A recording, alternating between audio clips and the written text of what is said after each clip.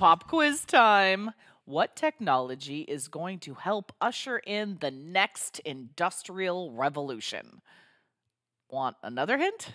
Okay, it's easy to install, can be integrated into legacy systems, and transmits power and data over a single cable. All right, you guessed it. Single pair Ethernet. It was probably that last bit that gave it away, right? Hi, I'm Amelia Dalton, host of Chalk Talk. In this episode of Chalk Talk, yes, we are talking about single pair Ethernet. Tim Kurten from Cinch Connectivity and I explore the what, where, and how of single pair Ethernet and how this technology is changing the landscape of smart building and industrial applications. We also investigate the different types of single pair Ethernet and the benefits of cinch connectivity solutions in this arena. And before we get started, don't forget to click that link. There you can find even more information about this topic from Cinch Connectivity. Hi, Tim. Thank you so much for joining me today. Hi, nice to be here. Thank you. Excellent. Okay. So, we're talking all about single pair Ethernet. But first, Tim, what exactly is single pair Ethernet? Well, single pair Ethernet, also known as SPE for the abbreviation, it's a new solution for connecting Ethernet devices, especially in hard to reach places. So, a key tool for introducing Ethernet into these places that have traditionally used standard Ethernet or other communication standards for that matter. So, single pairs, smaller, lighter, easier to manage, than uh, the traditional base T networking cables, can provide access to previously hard to reach locations, as I mentioned.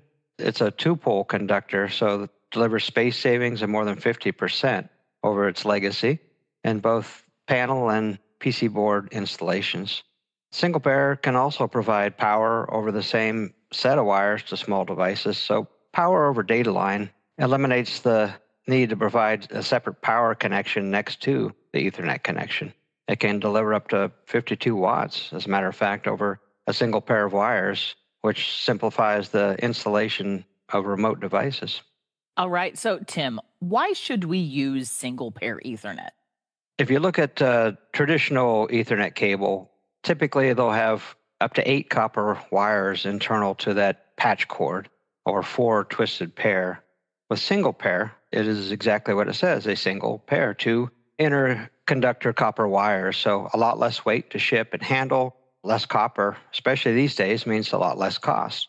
Cables are easier to bend and route into walls, makes for space savings and easier installation. And this small form factor uh, allows for interfacing plugs and jacks into smaller and smaller devices. All right. So, Tim, there has been quite a lot of interest in SPE recently. Why do you think that is? Well, when you start to look around, you'll see more and more devices being digitized and added to the network to make intelligent buildings even more smarter. Sensors and devices on machines and processing units are one of the largest growing sectors for the Internet of Things. This makes the network engineers being tasked with connecting a, a large number of sensors, actuators, controlling devices, but they also need to do it in a way that's uh, ease of scale because they're doing it so fast and in a cost effective way and a secure way. So, SPE connectivity can be used for things like smart lighting, security, monitoring control systems. Think about fire alarms, elevator controls, other various access controls. Can also enable power transmission with speeds up to 1,000 base T over that single pair of copper wires. Typically, these guys are rated in their temperature range of 20 degrees Celsius to plus 60 C because they are going to be inside of a controlled building. That makes sense. Now, there are different types of single pair Ethernet technology as well, right? So, talk to me about that. That's true. So, there's several different types of single pair technology, and each version is sort of dedicated to a different industry, if you will. The ones that made it to actual production our IEC 63171, there's a dash 1, a dash 2, a dash 5, and a dash 6 in the marketplace today. Although there's these four different interfaces defined, two of them are recommended for use. The dash 1 for automated applications such as uh, smart buildings and such, and the Dash 6 for more harsh environment industrial Ethernet applications. So the Dash 1 and the Dash 6 can both support up to 2.5 gigahertz of data transmission. So, Tim, what industries are you seeing the biggest growth for single pair Ethernet? Well, as you look at intelligent buildings, uh, a lot of it's keyed around uh, cost savings and how do we how do we manage all that. So you think about things like automated curtains and blinds and areas of high sunlight for heating, cooling reasons. You look at uh, badging systems, you know, for security for employees coming in and out of a building. Multimedia is another area we see, you know, with uh, PA systems and sound masking and just audio video in general. Cameras, CCTV, we see a lot of that usage tied to this technology. Other sensors for you know, occupancy of a building. You need to know who's in the building and who's not in the building, especially in emergency situations. Temperature and humidity, brightness of the lighting can be adjusted, as well as air quality and you know, fire detection, CO2 monitoring for safety reasons. Data collection and analysis is another big area we see. More and more digital signage is showing up, not only on highway billboards, but in these office buildings or outside the office buildings that are tied to this type of networking. Everybody has their own Wi Fi or distributed antenna system tied to the building these days, and even manual controls that you have to hit a switch or push a button can be tied to this type of networking. Tim, is single pair Ethernet going to be a full replacement for legacy Ethernet now? That's a good question, and, and that's the fear of a lot of folks that they have to rip out, you know, the legacy equipment that they put in 10, 12 years ago. So single pair Ethernet can use the same transmission data in both directions, just like its predecessor, but the predecessor used up to four pairs of internal copper conductors for sending receiving channels. These smaller devices we're talking about require a whole lot less data and channels so that these Ethernet runs can be simplified down to two conductors or a single pair.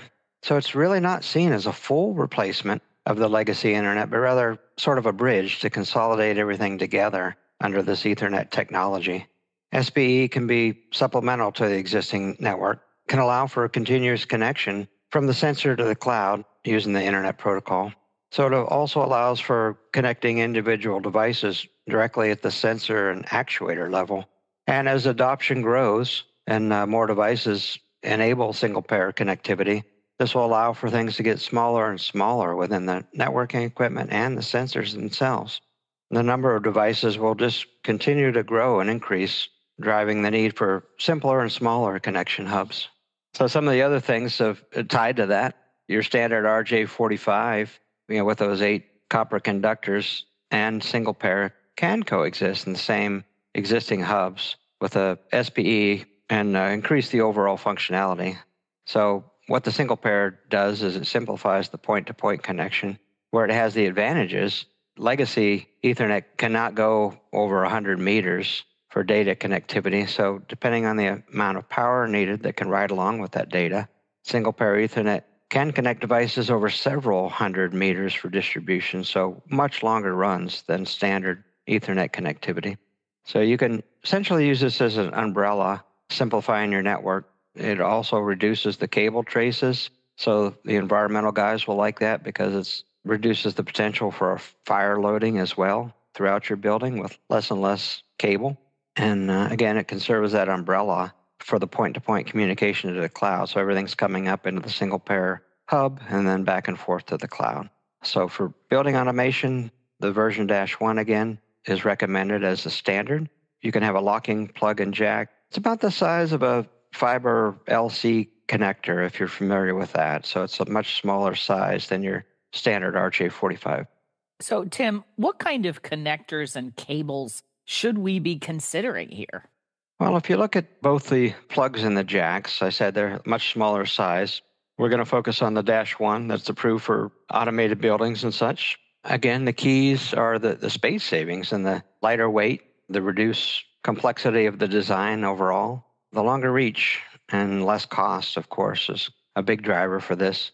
We prefer the shielding on there for improved electromagnetic interference protection. You can have an optional uh, light pipe for those who are familiar with a LED type indicator on the jack side that can be integrated as well. And then the cables can be customized to, to any length as I said, they can go several hundred meters in the single pair Ethernet. So, you know, these can be whatever you need them to be, you know, three meters, 10 meters, several hundred meters, terminate the jack on there, much longer reaches. And again, they're used for, you know, think about uh, heating, cooling, sensors, intelligent lighting, security systems, any access control that you weren't able to reach before. These guys can do that.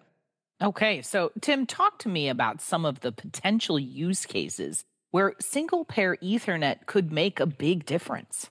Well, a lot of our customer requests are coming in with, uh, we see, think about emergency or exit signs and such that don't need a whole lot of data, things like water sprinklers throughout the building, intelligent lighting. When somebody comes into a room, the light comes on. You know, if they haven't sensed uh, movement for a while, the light goes back off. Cost savings uh, for the building as a whole. We've even talked to people about, you know, mood lighting and such within a business various colors, various lights in different locations that can intelligently come on and off or change color even depending on the particular customer coming into that. And it all ties in to the cloud and can be controlled remotely as well is another key benefit of this. All right. So, Tim, before we go, can you recap your main points for me? Sure.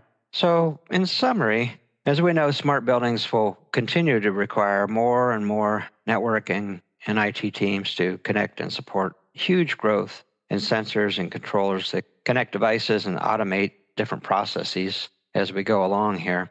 Single pair Ethernet or SPE, the versions IEC 63171 1 is the one selected for smart buildings, can handle up to one gigabits, and also allows for longer reach than standard Ethernet. It can do the same as standard Ethernet up to 40 meters with one gig, but where it really shines is beyond that. It can go up to 1,000 meters with uh, 10 base T lower data rate, which most of these smaller devices only need that 10 base T. It can consolidate legacy networks and protocols into a, a single centralized Ethernet system. It enables new markets for the Internet of Things. You think about smart sensors, streaming video, further data analytics. You think about all the AI growth and data collection that's going on. It can tie into that. Higher density of, of connectivity and all the uh, hardware and the rack units, smaller footprints overall. So there's a lot of space savings with these smaller diameter cables. There's a large weight reduction in the cable runs, easier bending and routing of the cords. Remote access is a big thing that's desired by people. Remote control of building parameters. Say you forgot to shut something off or everybody's out of the building and you need to check on something, you can dial in. Potential for remote power to be delivered over these same Ethernet data lines. Lower cost overall and less copper for longer runs with a single pair Ethernet. And then you can combine all these protocols of existing, again, not replacing, combining into one seamless communication layer that travels back and forth to and from the cloud. Fantastic. Well, I think that's all I have time for today. Thank you so much for joining me. Oh, thank you, and I hope this was helpful. Those can learn something from this. And before we go, you didn't forget to click that link, did you? There you can find even more information about this topic from Cinch Connectivity. For Chalk Talks, I'm Amelia Dalton from eejournal.com. For more Chalk Talks, head on over to the Chalk Talk section of EE Journal. You can't miss it, it's right across the top. Or head on over to YouTube, youtube.com slash EE Journal.